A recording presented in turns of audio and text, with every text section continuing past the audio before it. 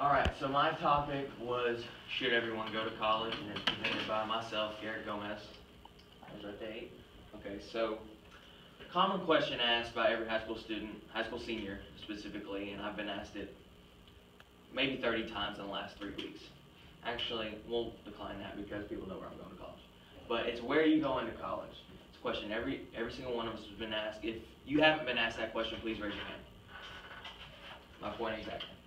So what it does is when someone asks this question, it puts pressure on them. It makes them automatically think, hey, that's the only socially acceptable option. Everyone thinks, hey, I'm graduating college, I'm graduating high school, I have to go to college in order to make a good living. Um, and what people don't realize is that they have other options. There's plenty of other options. You can just go right into the workforce, which many people do. And if you play your cards right, sometimes you can make a fairly decent living out of that.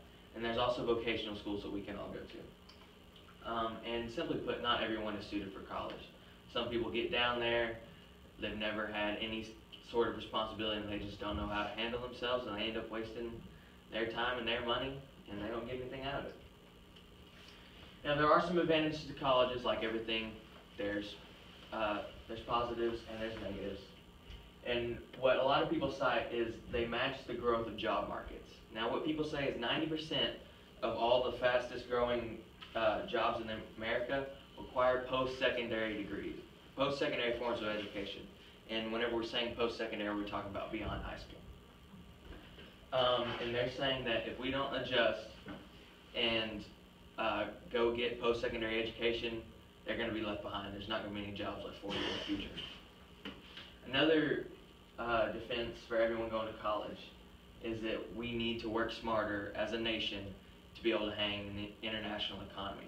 Because simply put, other countries can work cheaper with unskilled labor than what we can. So if we were to just send everybody into coal mining, there's going to be a country, some other place where they don't have the minimum wage laws and everything, and they're going to be able to do it cheaper, and their product's going to sell better than ours. Um, and there's also a ripple effect that occurs with the college education. So, whenever, with that being said, both my parents have gone to college. Both of them graduated from A&M. So going through this whole process, they knew what to do. They knew to get me signed up for classes that would prepare me for my SAT, my ACT, knew when to take it, helped me set it up. And I really, I had it made when it was coming to applying for college. And for first generation students, it's just really hard if, if their parents have not gone to college. It's very difficult for them to do. Also, not only just being able to navigate the ropes, but 60% of kids whose parents have advanced degrees get all A's in high school, compared to only 27% of uh, children of high school dropouts. And that's a significant amount whenever people are looking at your grade point average and your class rank in terms of getting into college. Now there's also some disadvantages to college. There's very low graduation rates. So out of high school, what the nation's saying is that 45% of us high school graduates will attend college, but only 50% of us will graduate. And simply put, that's a waste of time and money for those 50% who do not make it. Uh, it wastes time, and it and of people who do graduate, 40% graduate in four years, and that bump, the number bumps up to six to 60% after six years. So this is delaying their salary, delaying their salary, increasing the amount of debt they need to take on to live the extra two years, and it's just making it to be a longer and more expensive endeavor for them. Um, there's also a tremendous amount of debt that comes along with college. Now, there was a survey done by U.S. News that they polled all kinds of colleges from across the nation to find how many students, first off, how many students still had debt at time of graduation, and on average, what that amount of debt was. And on the upper end of the spectrum was the University of Notre Dame. 56% of all graduates of a college had college debt, and the average was $25,595. And that is a lot of money, at least relative to us we're not making big bucks at all. We're working ten dollars an hour, and if you're working during college, you're not going to be making big bucks either. So that's a substantial amount of money to have to pay back. And on the lower end of the spectrum was Harvard. They still had 53% of all graduates have debt, but the average was only $10,465. Now that, nowadays, that is still a fairly nice used car, which can be used. Um, there's also a loss of value in degrees nowadays. Um, college graduates are increasingly having a hard time finding a job, and one example of this is law school employment. The amount of law school graduates that were able to find a job in their field was at 91.9% in 2007. And by 2015, only 59.9% of law school graduates were able to find a job. And there was an example of this in an article I read. A woman went to school and graduated in 2013, and she wasn't able to find a job in her field, and she applied to, she said, hundreds of places. And it wasn't, like, not even relevant to law school at all. And a lot of them turned her, turned her away because she was overqualified. Um, and this is not just a phenomena in the law school realm of the world. The total unemployment of college graduates was 5.5% in 2007, and by 2015 it had also increased to 7.2%. Simply put, there's a low demand of jobs for people that have high school, have high advanced degrees.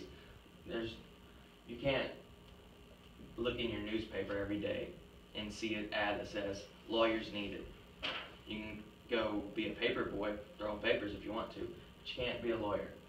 And there's low demand and there's a high supply, and that just it never seems to work out when that happens. An example is in the there was an article in the Chronicle of Education about a man who had received his master's degree in English, and he was unable to find any kind of work in any kind of English related job, and he wound up having his own little business in landscaping, not making near what he figured he would after encountering his whole college experience.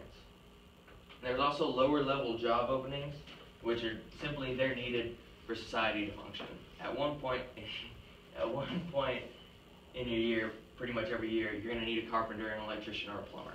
That's a matter of fact. And these jobs cannot be outsourced to India.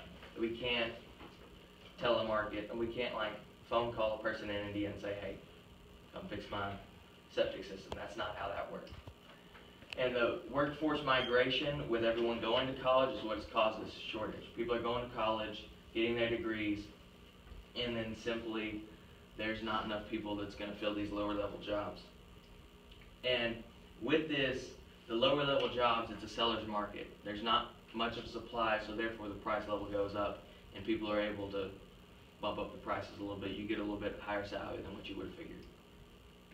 There's also benefits to vocational schools.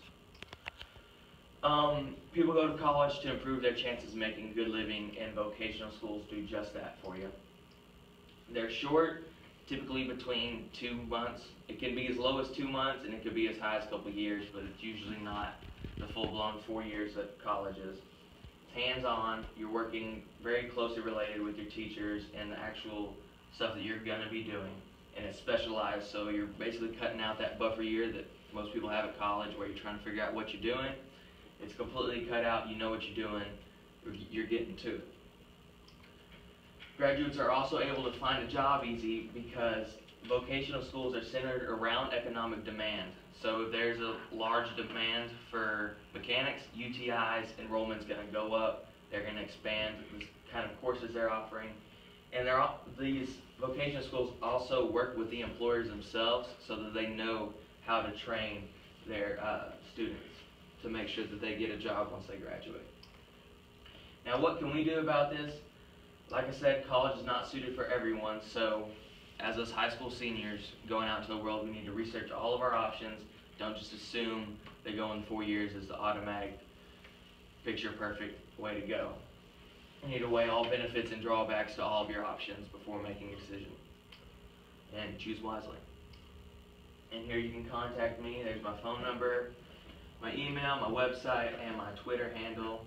Hit me up with a follow. You know it. Thank you. Wow.